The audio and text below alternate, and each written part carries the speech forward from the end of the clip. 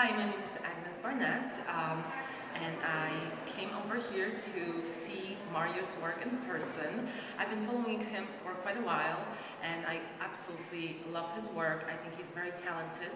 Um, I always admired in him that he um, thinks of a makeup as a art and face as a canvas. So before applying the makeup, he creates like a flawless canvas, and then by applying the look, it's just creating something beautiful. Um, and I think that his um, contouring, it's absolutely one of the best that I've seen.